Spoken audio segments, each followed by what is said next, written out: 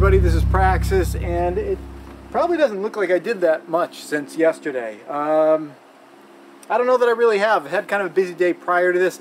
I, I don't know if you guys are aware, I run this uh, YouTube channel that has like general emergency preparedness information on it, and I spent I don't know, like four or five hours this morning uh, prepping the Lego Fallout Shelter video. If you haven't seen it, here's a link to it so you can check that out.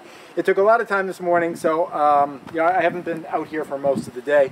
But I did get some work in. I got a few more stones in the wall here. This was a huge one. That was a, a really difficult to, to pull up from way over on the other side of the house because we got a ton of rain last night and there was a lot of mud and trying to drag the wheelbarrow up through the mud was really difficult. But anyway, I mean, even if you only get a little bit done today, it's more than getting nothing done at all. So, uh, you know, it's more dirt, more sticks, and I'm moving um, uh, grass chunks. Now, someone mentioned on one of the videos recently, and they're absolutely correct, uh, video's best uh, attribute is that you can see things happening.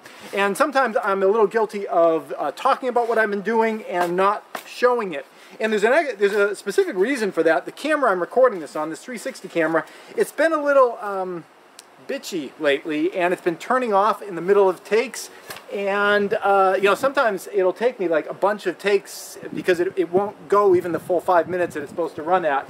So uh, sometimes I kind of like fast forward through things and just want to share what I've done and, and I, you know I kind of forget to actually show some of it. So let's try to show some of it today.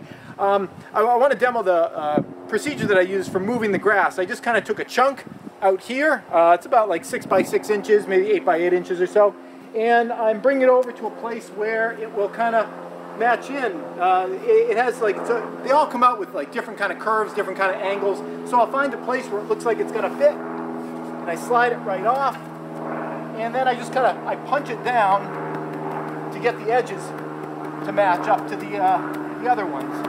I don't punch the edge because that would have it all fall apart, but I punch like the back side and get it all married together like that. So that's what I've been doing. And uh, these are some of the new ones I've done today. I'm going to take some of the hay we got over here and sprinkle the hay over on top. Overall, you know, it's moving, but uh, you know, it's, a, it's not as fast as I'd like it to be. I believe, I believe that this right here, this point here, is the corner of the, the root cellar there. I'm a little bit, uh, my angle's a little bit off.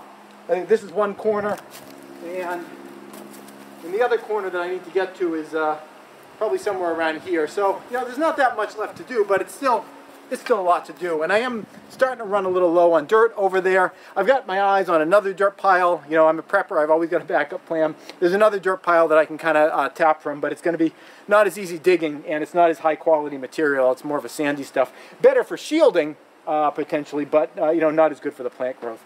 But things move, are continuing to move, and I think the next time where I actually have a full day, I think I'm going to be installing this uh, filter box here. And I know some of you guys, uh, specifically Die Bullfrog, you've had some comments about you know some of my approach to that, and I really appreciate everyone's feedback on that.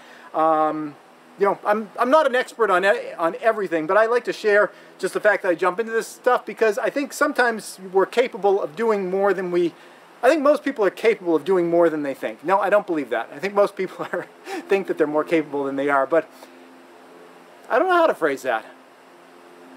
I'm not sure how to phrase that. I think that there are many people out there who have more ability than they believe that they have. But there are probably more people who think that they have more ability than they actually do. That's, let's just leave it on that downer. That's it. Thanks for watching.